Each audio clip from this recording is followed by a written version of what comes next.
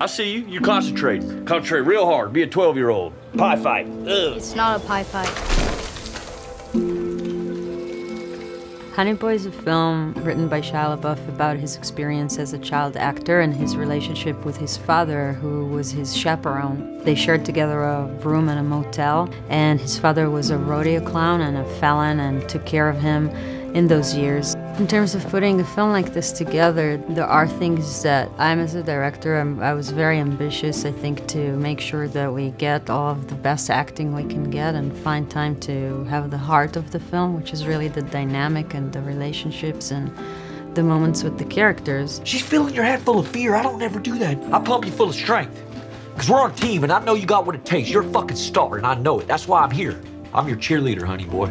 It was really important for me to capture actually the cinematic world that Otis grew up in, how these stages and these sets have become really the playground for his psyche. No, no, no, no, no!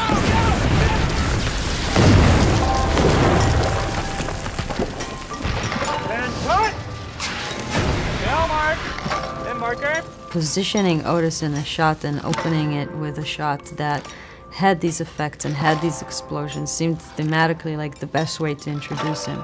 I felt that he's part of a much bigger machine that treats him just like a puppet and can blow him up and then walk him back to do it again. You can really show how helpless he is. So I really wanted to capture that with that shot. No, no, no, no, no! It's more than good. That's amazing.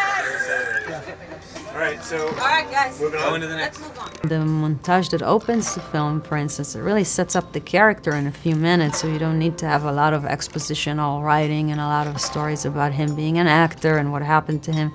It was a very visual sequence that we had to achieve on a very low budget. What am I being arrested for? What am I being arrested for, huh? There is something about Shia's story that reminds me of Pinocchio and somebody that was on a marionette for a long, long time. In a way, the motel itself was another set, but had the subconscious of his father all over it, you know? I wanted it to, to be a little circusy and to have those colors of these old circus posters, and it's, it's the set his father never had.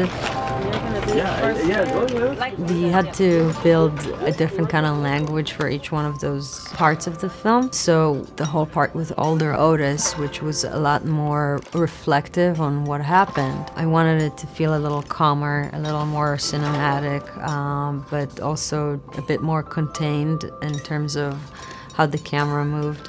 And then at the hotel, I very much wanted it to feel like in the moment and very much with the actors and constantly handheld and, and, and improvisational and film it just like I filmed one of my documentaries.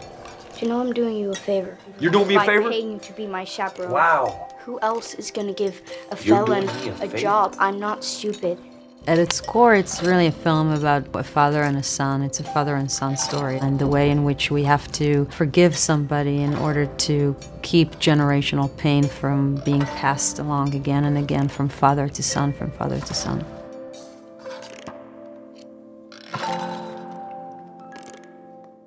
Lisa here with a bonus behind the scenes movie fact. Did you know that there's a Starbucks cup in every Fight Club scene? Director David Fincher thought the Starbucks shops popping up on every block of LA in the late 90s was too much of a good thing. So he poked fun of the coffee chain in Fight Club. He's claimed to have sneaked a Starbucks cup into every shot, with permission of the chain, of course. With one exception, Starbucks didn't want its shop destroyed on the film. Do you like my shirt? You can get one for yourself in the link in the description.